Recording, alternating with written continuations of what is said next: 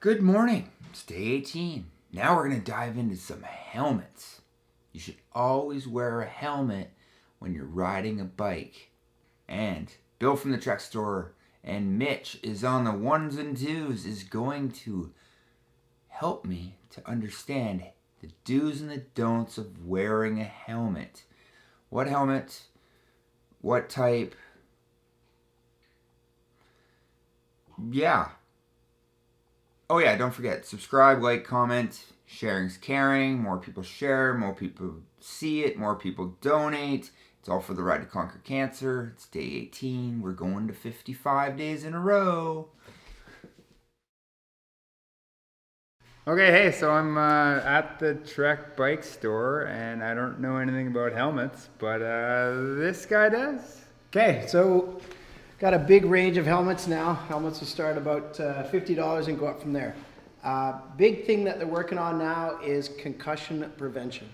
So uh, a lot of the helmets are coming now with an internal roll cage system. So what happens is the roll cage system moves independently of the helmet and reduces concussion by about 20%. Uh, they've even expanded on that and they're doing new systems that are like a crush system. And so these guys are even more uh, even a bigger reduction in, con in concussion. So about 40% less chance of getting a concussion from a regular helmet. Um, the more you spend, the lighter the helmet, the better the ventilation, the better the fit. Okay? okay? So the less expensive helmets will have two sizes or even one universal fit.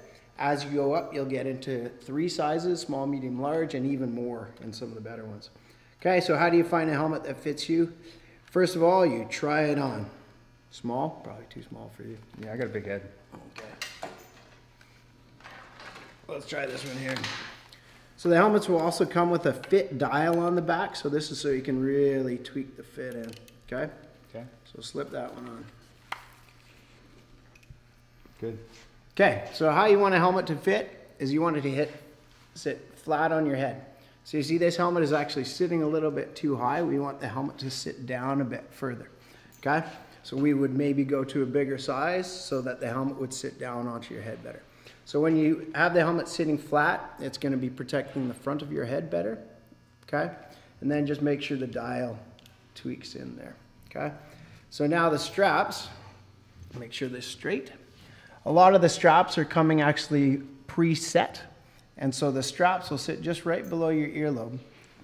So then what you want is you want the strap to sit comfortably under your chin without pinching your neck.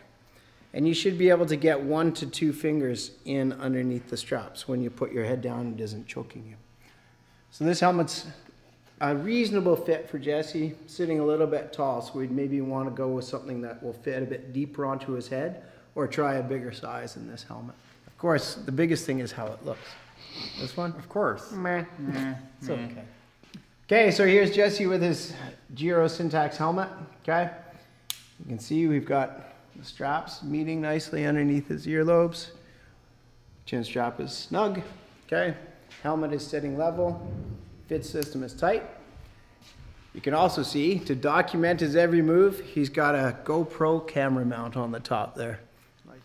Okay, so this is an example of a helmet that's uh, fitting a bit too loose on Jesse. So you can see as the helmet moves, there's no movement of his scalp. So a good fitting helmet will actually move your scalp when the helmet moves.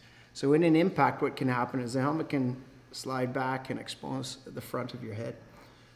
So we want it to fit nice and snug. So this one's too big. So let's try one that's gonna fit him a bit better.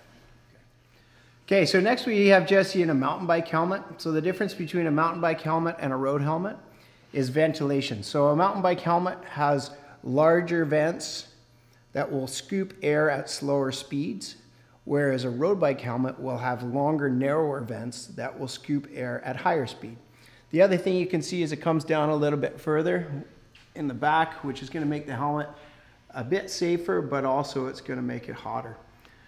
Visor on it, which is going to deflect branches, keep the rain out of your out of your eyes in a road situation when you wear a visor what can happen is it can cause you to strain your neck and look try and look up too far beyond the visor but it looks uh, cool not in a road sense oh, man. You got a lot to learn. I know. It'll also catch wind in a road situation and actually try and pull the helmet off your head. You see also, GoPro mount comes stock fitting into the helmet. So when you're shredding the gnar, you can pick it up live. Beautiful, Bill. Beautiful.